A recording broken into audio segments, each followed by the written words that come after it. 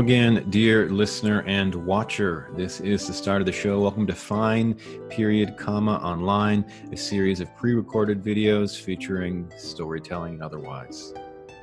On the show today, we have the wonderful Ivanna Baranova, Emily Dundas Oke, and Aaron Read. And throughout the episode, you'll hear music from The Giving Shapes from their debut album, Earth Leaps Up and they also made a really awesome music video that we'll be seeing towards the end of the program. All right, and I'm the host of this thing. My name is Cole Nowicki. And I hope all of you are doing all right out there. I'm doing pretty good up here. Thank you for asking. It's about 12 degrees Celsius. Birds are chirping, and I think I think we're in for a hot one today. Okay, enough about me let's get on with it. Enjoy the show.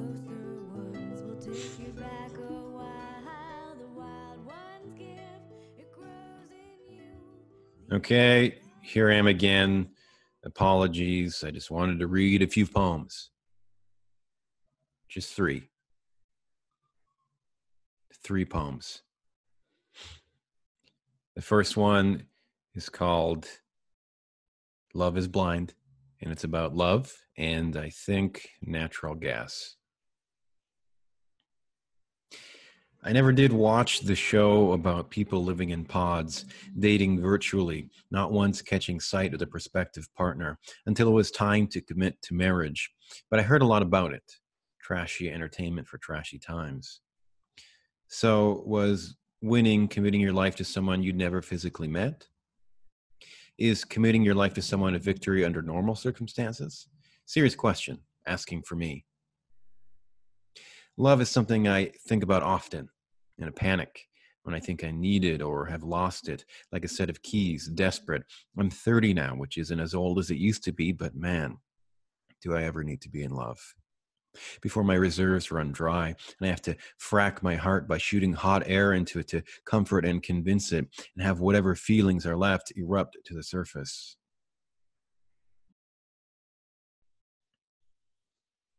All right, this next one is about a stranger who refused to accept my unsolicited advice. It's called Set a Place. From the sidewalk, I yelled into the shirtless man's open front door, where I could see him tend to something on the stove. I warned him about the raccoon which sat just a few feet out of frame. It's all good, he shouted back, faith concrete, unshakable, unconcerned with the creature's potential to creep into his home and make itself at home, rummage through closets, recline in his favorite chair, reset the Wi Fi password, set its own place at the table heap strips of bacon onto a plate without asking. Of course, it can use tongs, opposable thumbs, remember? Thanks, the shirtless man yelled as the raccoon looked on, a gesture for me to leave. All right, this is the last one, and it's called Our Father. Every so often, my older brother will take ownership over the past, present, and one would assume the future declaring that I would not be the person I am today if he hadn't treated me the way he had when we were kids. This made me a tougher, more resilient person, he argues. My current character owed to his previous lack thereof. I'd say he can claim partial responsibility for my ability to, and in some cases get perverse relishment from, taking a good whooping. He introduced me to skateboarding, after all, an endeavor that demands blood and flesh in exchange for growth, each new trick learned is not a gift, it's salvation after paying penance for having the audacity to try. Every time your body meets the concrete on a failed attempt, a Hail Mary, an Our Father, eventually it becomes routine, like a kickboxer conditioning their shins, tirelessly hitting a heavy bag, causing webs of microfractures in the tibia that over time will ossify, the bone becoming stronger than it was before, now desensitized in search of success. Totally cool, normal things to do. My pinned tweet on Twitter includes a video of 17 year old me trying to ollie onto a dumpster, then hanging up and getting flung six feet below onto my back and head. Our Father. The tweet is a joke about failure, about not even meeting a trash bin standards. But the thing is, in that video, before meeting the asphalt, I thought I had it. knew it, in fact, had already landed it just minutes before, but wanted to do it again, got greedy, Hail Mary.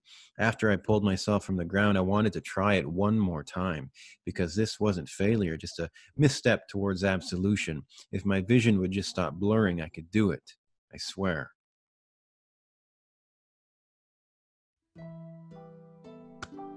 All right. Thank you for listening to those things.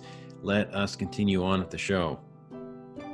Now we have Aaron Read. Aaron is a musician, illustrator, comedian. He does most things. And he also made this.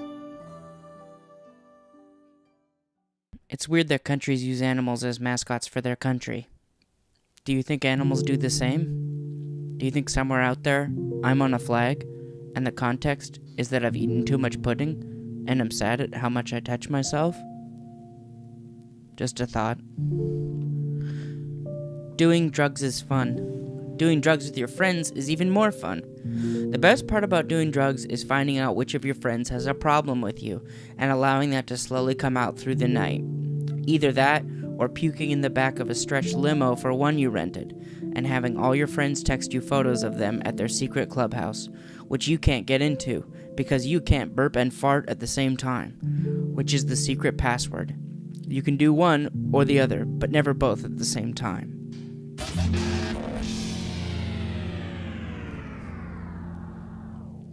Running is really fun. It's healthy and makes me feel good.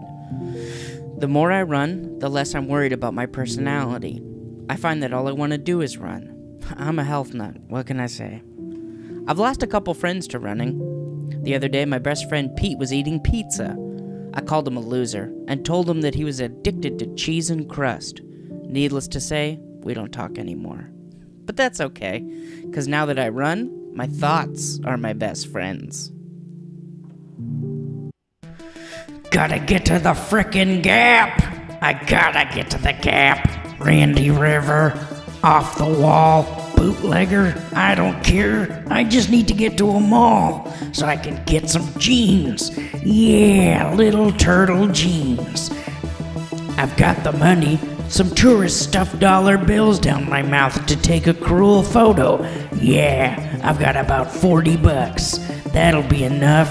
Buy some jeans. Then I gotta mend them. Ah, I'm a size 36 too, so I better mend those jeans. Oh my god, how am I gonna get to the mall?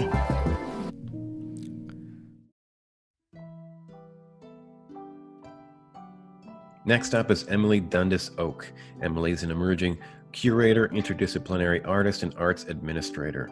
As a Metis, Scottish, English, and Nehiyaw Iskwew, she is grateful to be an organizer and a co curator of the Indigenous Brilliance Reading and Performance Series. She's had the pleasure of doing residencies here and abroad and made it through a philosophy degree. Here's Emily. Um, Tatsiko, um, thank you for inviting me to speak with these fine people and for um, the introduction. Um, there are many things that don't make their way into introductions. Things scattered across bedroom floors, neglected on kitchen tables as they wait a small moment of care. Not given the freedom to be unfurled from the sheets as we are called elsewhere. Building small piles, echoes of my own body I left at home on the counter.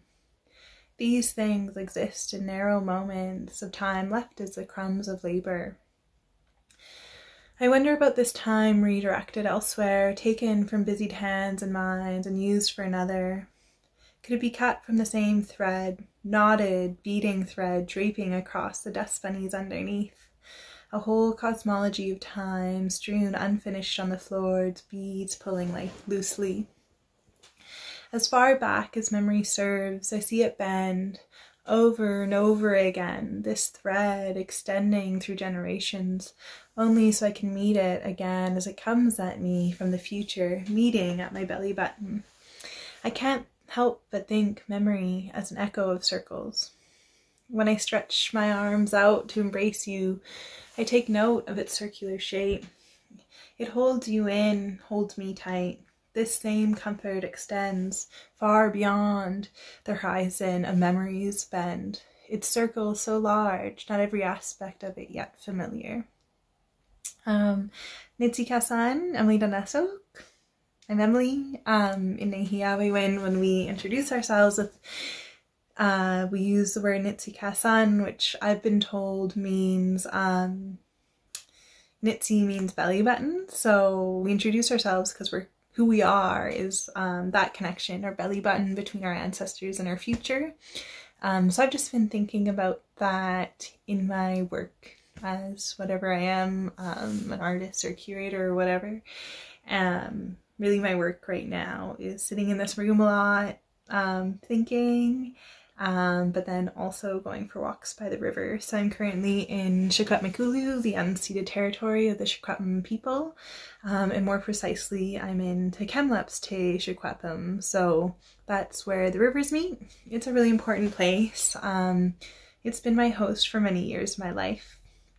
Um, but I don't live here now, and most of my books are elsewhere, and so I've been thinking stories are still coming to me, like you know, many of our stories live in our bodies, I believe, but lots of them live in our books too. So I'm just being mindful during these times of what stories are coming to me. And I thought I'd share one with you. Um, this is from Leslie Marmon Silko's Sunrise, or sorry, Ceremony. Um, it's a book I tell everybody they need to read. So this is it. Um, thought woman, is sitting in her room and whatever she thinks about appears. She thought of her sisters, not Tsitsi and its Tsitsi, and together they created the universe. This world and the four worlds below. Thought woman, the spider, named things, and as she named them, they appeared. She is sitting in her room, thinking of a story now. I'm telling you the story she is thinking. I will tell you something about stories, he said. They aren't just entertainment. Don't be fooled.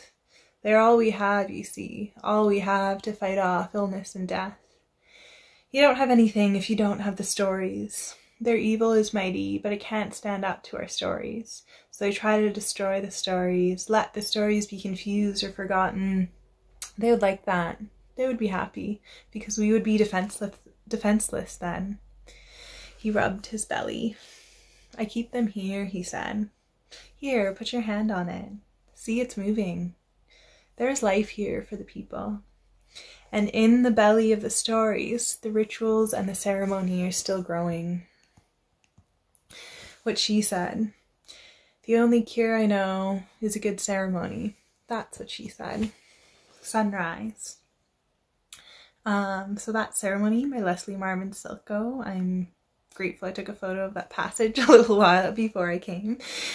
Um, and other stories that are carrying me through this time uh, is one I'm not yet finished, but this is The Marrow Thieves. Um, I think many of us are dreaming more than we normally do, or those of us who often dream lots might be noticing different sorts of dreams. So I'm just dreaming about um, small details of people I don't know well and um, people rejoicing and being outside, but I just thought I'd share this small excerpt from Marrow Thieves, which is about dreams, really. Um, as it turns out, every dream Minerva had ever dreamed was in the language. It was her gift, her secret, her plan. She'd collected the dreams like bright beads on a string of nights that wound around her each day, every day, until this one. Um, I hope you all share with your dreams with me. Um, you can be in mine if I can be in yours. uh, bye. Thank you so much.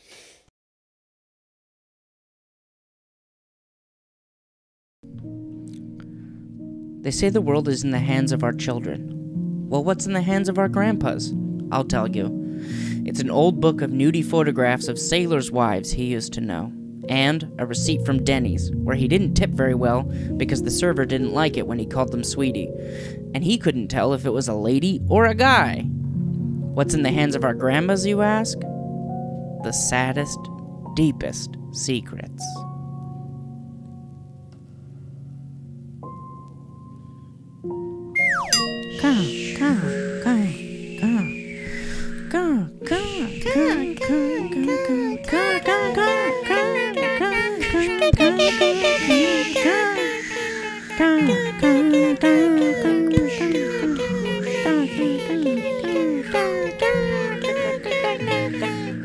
I'm This comedy's brought to you by Soul Orb.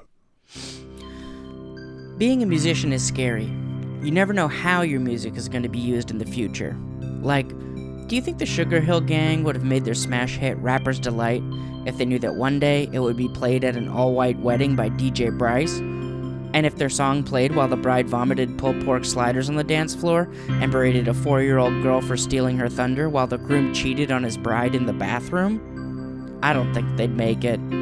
Or at the very least, I don't think they would have shown white people the song. Hey, everyone who is scared of wasps. When one comes into our room, have we tried asking it if it wants to hang out? Or telling it that it looks nice today and that it always brings us joy when we see it? I think the wasp would fly out the room big time, because wasps are really the jocks of bugs, with hurt hearts, ashamed, and afraid of intimacy or true connection. I think this would be faster than hiding near the door and whispering, Go out the window, you frickin' dingaling.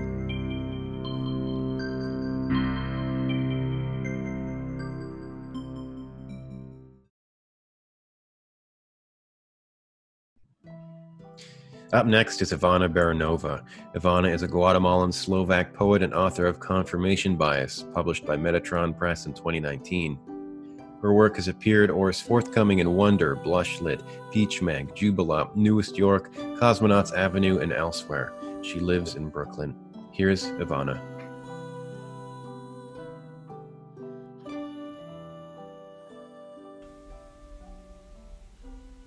Preset Collapse never anticipates its subsequent form. A joke about essential error incites my innermost defenses. Thin cut feeling like gauze, the grief of organization, individuated, exhaustive. I find a swimsuit the color of my purported aura, more presets for the casket. When I outlast the seasons, when I engender what bores, cultivating an internal climate of zeros. Is it my dim light retina, my near sight circuit? Shit hits the fan with harmonic awe. One motion removes doubt, the other absorbs it. I see something in me murdered every day, a geometry of calm resuscitation. 222 for Chariot. Presence is the first form of devotion. How else to litigate the breadth of what adores you? Telepathy revives our asylum, reveals whose turn it is to be the wonder of the other. In this tiny electronic mess, I get to be only a racing heart when the rest of me forfeits movement. All night I dream us blessed. It renders my worship the highest biological assembly, a cool, militant echo, resetting.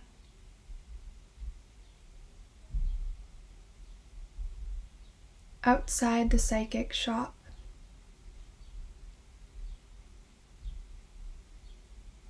Pacing can't move me at the speed you're wanting words. I mouth a cue, you jump the turnstile. Each time I speak, a new payment. Face fucking the final moments of my lunch break is the only profit I could adore. The transactions are unrelenting. I stare straight in the eyes of your collector, chugging grapefruit seltzer under rain. Grief hits like a punch, enough with closed eyes to call this living.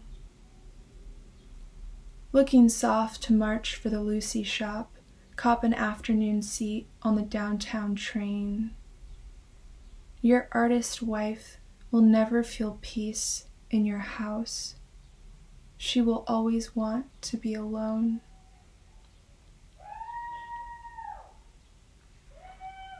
Parade. Don't tell me I'm a good person. Who would redeem a binary so impossible as that? Few can even help the mannequin of their affect. An abiding procedure is a limitless chore. I understand. When I'm done pretending to, I play dead. Always hiding in the bathroom, talking superstructure, hurling at the lid. My mind the obstinate function of its own endurance. Intercom. Goodbye, anti natural agenda. Pragmatic fantasy volleys my intercom in every private departure of my minuscule day. I'm not beholden to such elation. Every gesture, every mental calibration, more trust, more blissness. Something about waiting really gets me off. A fatalistic belief is contagious.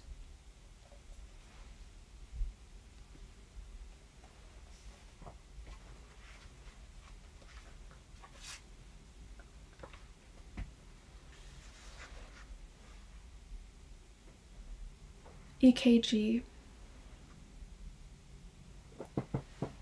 Everyone exalts their own abject plans this weekend, but my mind's social trajectory is invariably same. I take up smoking again to confirm our compatibility, a salve for the disconnective impulse. You know, my body can't help but dance when I see you on the platform radiant somatic emblem, mirroring these atomic depths of me. Congratulations on your face. It's a good one. I plagiarize your essence as a means of revival, so in life's every iteration witnessed, there's you. All this time, and still I'm shocked by loneliness displayed in myself, misunderstanding the stages of dispersal and manifestation. I see now. I was an obdurate rain in this urban suburb. I discovered how free I felt when I stopped taking cover. I resurrected in the alcohol of perfume. I said yes to not saying no.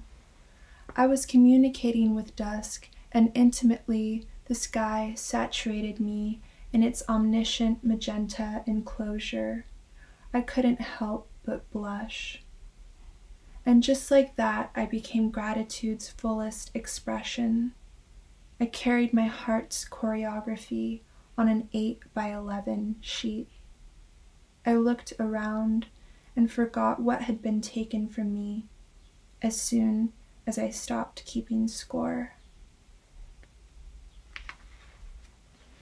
Thank you all for listening. Thank you, Cole, for having me. It's so nice to feel um, in a way that I get to be home in Vancouver. I'm recording from Brooklyn and feeling a little homesick and very grateful to have gotten to share some work with y'all. Thank you again and have a safe day.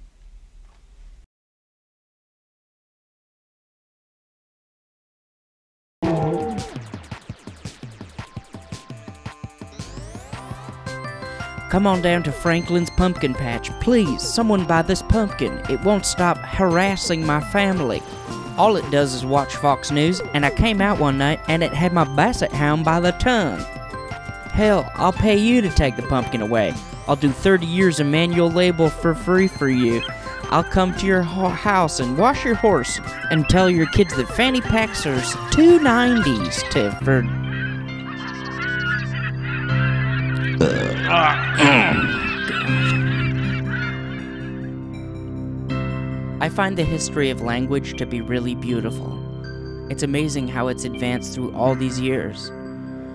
It's crazy to think that this West Germanic language, brought to Britain in the 5th century, started out with simple words like I, we, and who, and evolved into common, often complex phrases we use today like, that's a nice shrimp ring, and I think it was Cody who cummed on the beanbag chair.